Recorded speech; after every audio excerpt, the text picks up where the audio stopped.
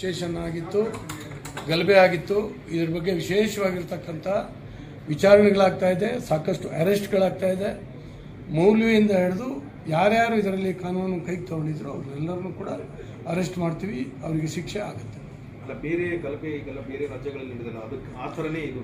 ನಿಜವಾಗ್ಲೂ ಕೂಡ ಹಾಗೆ ಅನಿಸುತ್ತೆ. ಇಲ್ಲಿ K J Halli D J Halli Hubballi ಮತ್ತು ಬೇರೆ ಬೇರೆ ಭಾಗದ ಗಲಭೆಗಳಿಗೂ ಇದಕ್ಕೂ ಸಾಮ್ಯತೆ ಇದೆ ಅಂತ ಅನಿಸುತ್ತೆ. ಹಾಗಾಗಿ ಇದರ ಹಿಂದಕ್ಕೆ ಯಾವ ಮತಾಂತರ ಶಕ್ತಿಗಳಿದ್ದಾವೆ, ಯಾವ ಸಂಘಟನೆಗಳಿದ್ದಾವೆ ಎನ್ನುವಂಥದ್ದು ವಿಚಾರಣೆಯಿಂದ ಬರಿ, ಬಹಿರಂಗ ಆಗುತ್ತೆ.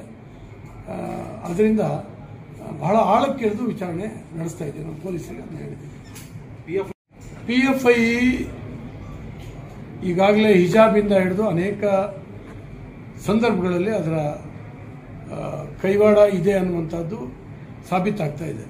ಈ ಹಿನ್ನೆಲೆಯಲ್ಲಿ ಇದು ಯಾಕೆ ಆಗ್ತದೆ ಅಂದರೆ ವಿಶೇಷವಾಗಿ ನಮ್ಮ ಕಾಂಗ್ರೆಸ್ಸಿನ ಕಾಲದಲ್ಲಿ ಅವ್ರ ಮೇಲೆ ಇದ್ದಂಥ ಕೇಸನ್ನು ವಿಡ್ರಾ ಮಾಡ್ಕೊಂಡು ಅವ್ರನ್ನ ಹಾಗೆ ಬಿಟ್ಟಿದ್ರು. ಕೇಸ್ ವಿಡ್ರಾ ಮಾಡು.